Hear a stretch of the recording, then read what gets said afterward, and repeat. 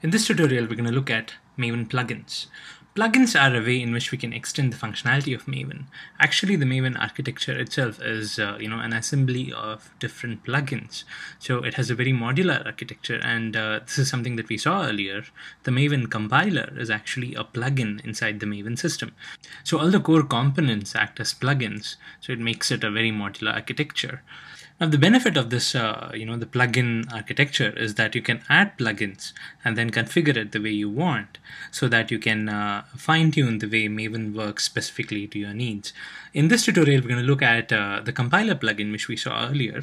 Uh, this was this is the actual uh, web app project that we saw in our earlier tutorial. If you open the pom.xml here, you can see that there is a configuration for the Maven compiler plugin, and it says that the source and the target are 1.4. What's actually saying here is that the JVM version for the source as well as the target runtime is version 1.4. This is there because when I was uh, downloading the archetype and I was choosing the archetype, I chose the Java EE 1.4 version. If I chosen the Java EE 5 version, then this would have been 1.5 or Java E5. So this is a configuration for the Maven compiler plugin. What used to happen was in Maven version 2, the default uh, source and target for the Maven compiler actually was 1.4. So if you had to write something specific to Java E5, say for example generics, if your code had generics, uh, without specifying the configuration, it would not work because the compiler by default was for, set for the 1.4 version. In order to use Java EE5, what you had to do was we had to add this configuration, the same configuration that you're seeing here, but you had to specify the Java EE5 version here because that is something that you wanted to override. You didn't want the default 1.4. If you had to run generics, you had to write code which had these uh, generics and other capabilities of Java E5, you had to do that override here and you had to specify Java E5 version over here. But since Maven version 3, Java E5 is the standard uh, version that's going to get compiled. So if you want to enforce a previous version, say you want to have version 1.4, you don't want Java E version 5, then you have to specify this configuration here because 5 is a default, you have to configure if you need 4. So anyway, we have uh, 1.4 configured here.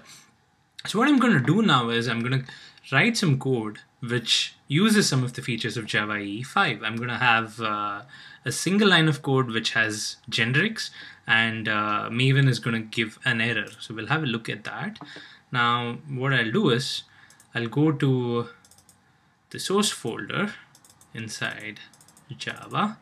I will create a simple class here.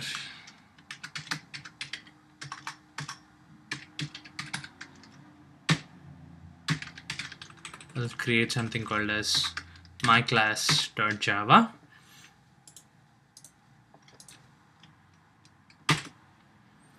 Okay, so I just have a simple main method here. what I'll do is I will write a line of code that uses generics. So I'll, I'll say I have a list of strings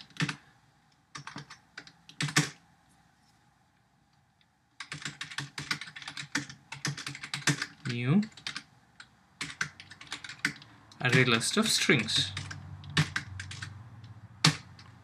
Okay, simple enough. I'll have to import java.util. Just import everything here.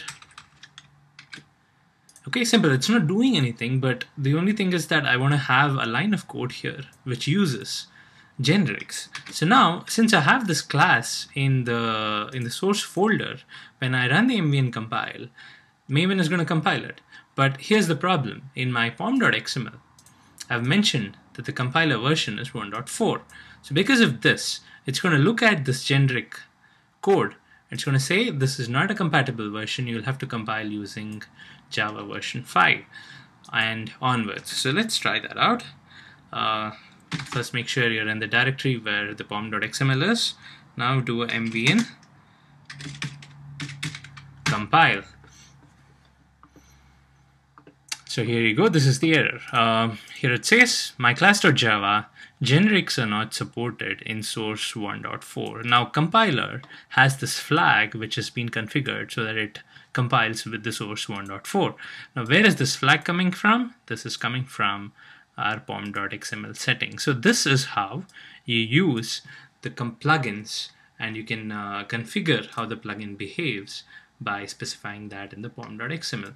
Now let's say I make this 1.5, save and compile again. There you go, it's built successfully. And now interestingly, now if I remove this whole build block, okay, I have not specified any override for the compiler plugin, but since the compiler plugin is a default for compile, it's going to use the plugin anyway. We are not having the configuration setting. So if we run the compile, it's still going to compile. Okay, it says there's nothing to compile, so let's just clean and run the compile.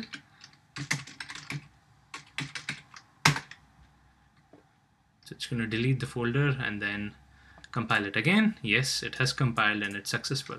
So this last case where you have not specified the plugin in the pom.xml and you're compiling uh, a piece of code that uses Java E5 features, this does not work in Maven 2 because 1.4 is a default compiler version in Maven 2. But since we are using Maven 3 here, uh, this works by default because uh, Java E5 is the default for Maven 3 and onwards. So this is uh, this is the way in which we use plugins. So all you need to do is we need to mention the name of the plugin here and the configuration details, and then Maven is going to use that plugin in order to add functionality to our build cycle.